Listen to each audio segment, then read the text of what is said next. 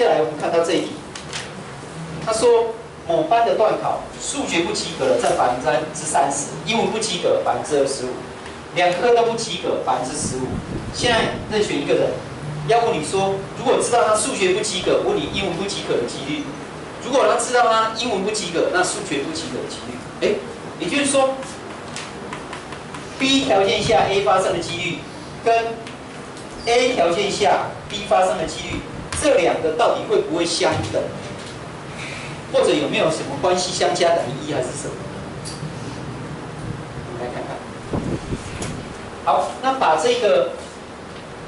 这叫 A 好了吧，这叫 B 好。好，那这个呢是已经知道 A 条件要求 B，所以这个是 A 要放在后面哦，这个已经发生的放在后面。好，那所以呢，它的几率就可以用这个 PA 分之 P，A 跟 B 的交集，上面不要忘记是交集。好，那 A 的几率，他说数学不及格的占百分之三十。那现在你抽出来一个人，你会是不及格，当然也是跟这个比例一样，好，所以就是百分之三十。那 A 且 B 两科都不及格，两科都不及格占百分之十五，所以你抽出一个人，他会两个都不及格，就百分之十。好，所以一百可以约掉，就等于三十分之十五，那就是二分之。好，那现在反过来，反过来。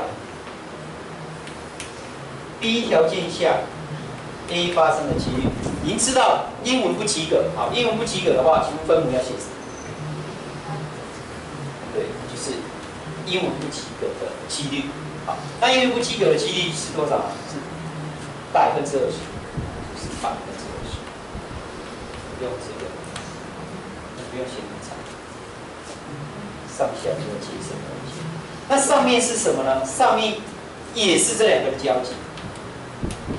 好，所以这两个交集的话，这个其实是刚才已经有了，就是百分之十，两个都不及格。好，那百分比约掉，所以等于二十五分之十五，就是约掉是五，分之三。好，那你会发现，哎，这两个相加不等于一，而且它也没有相等。但是这两个其实也是有关系的。那到底什么关系？